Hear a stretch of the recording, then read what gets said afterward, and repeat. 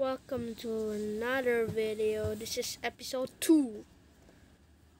The most terrifying objects found in the deep sea. So let's go into it. and snapper. Our, Our excursions, excursions require an early start. After, After breakfast, breakfast on board, board, you'll, you'll make, two dives on the wreck. wreck. In the In early early 50s, 50s, Jacques Jacques Cousteau, using information from local fishermen, he raised several items from the wreck, including a motorcycle, the captain's safe, and the ship's bell. The February 1956 edition of the National Geographic clearly shows the ship's bell in place and Cousteau's divers in the ship's lantern room. Cousteau documented diving on the wreck in part of his book, The Living Sea. That guy could find anything. Number Number 12. 12. Ocean Atlas. Artist, photographer, naturalist, and diver.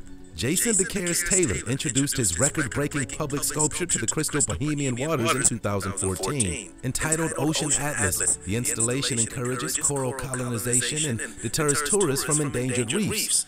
Forged for sustainable pH neutral materials designed to kickstart local coral growth, Ocean Atlas is a monumental public sculpture submerged 5 meters beneath the sea and an environmental gesture intended to portray the positive potential of human interaction with the natural world.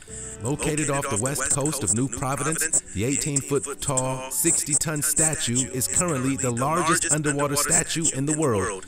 The girl in the piece seems to struggle underneath a heavy burden, which is appropriate given that she was named after Atlas, the Greek god responsible for bearing the heavens on his shoulders. Of the old ocean atlas. It's got quite a meaning to it. As with the rest of Taylor's numerous underwater sculptures, this one was made from a special pH neutral cement that will allow reef organisms to thrive on its surface. His statues allow new reefs to grow where none existed before and draw tourists away from overworked diving hotspots. Maybe not terrifying, but with the world on his shoulders, that's a scary thought.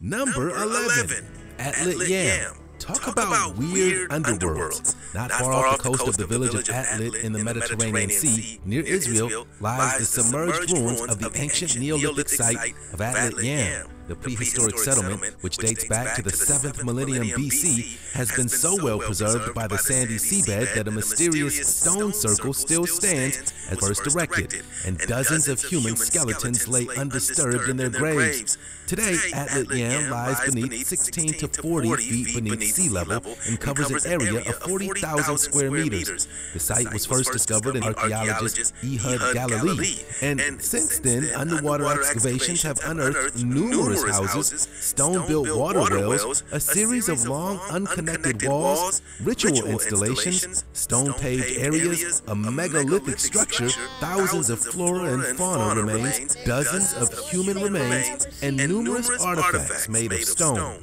bone, wood, and flint. The site provides unprecedented insight into life in Neolithic times, when people had just discovered how to domesticate plants and animals. I bet there are ghosts there too. Number 10.